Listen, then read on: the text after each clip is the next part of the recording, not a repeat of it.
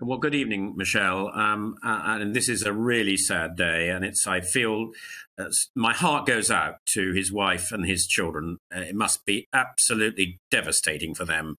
I knew David really well as a friend. Uh, he's been a member of Parliament for a long time. I've been a member of Parliament for a long time. Uh, we shared lots of happy times together.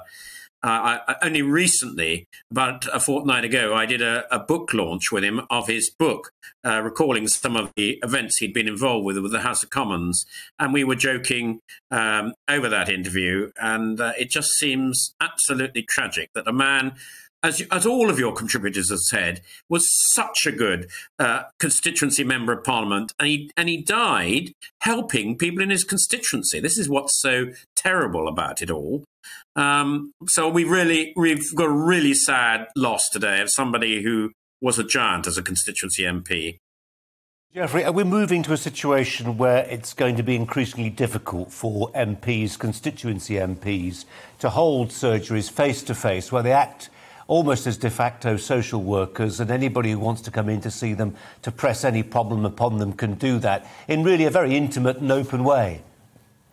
Well, good evening, Mark. I, I was asked that very question on an earlier uh, interview. I think if we get into a situation where uh, colleagues and members of parliament like myself can't freely interact with our constituents, whether it's walking up the high street or in a surgery or anywhere else, without some sort of bodyguard or something like that, uh, I think democracy is going to be irre irrevocably changed. We've got to find a way where MPs can be confident of their safety, but at the same time all constituents feel they have free access to their member of parliament because that's one of the real strengths of our democracy. When one of my constituents has a problem, whether when they're in trouble, one way or another, they can approach me, and that's a really, really important part uh, of what I do. So, Geoffrey, um, do you feel any less safe tonight doing your job? Well, I've I've never not felt safe, and I have to say I was very touched that my chief constable got in touch earlier in the day. He said, "If you've got any worries whatsoever, please phone me." So that was a a, a, a, a very good gesture, I thought.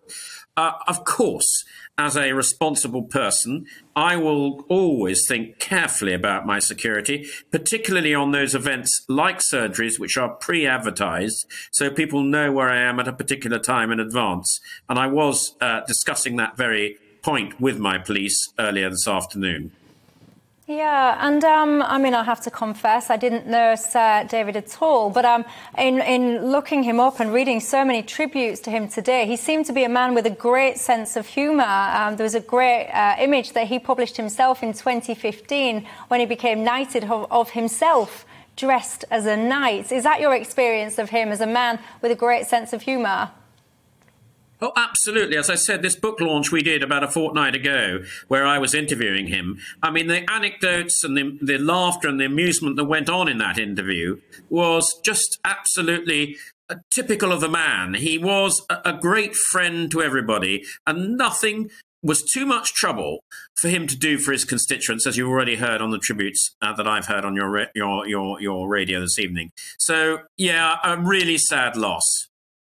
Yeah, I'm just showing my uh, viewers the picture there. It's a tremendous picture, and that was to celebrate his knighthood back in 2015.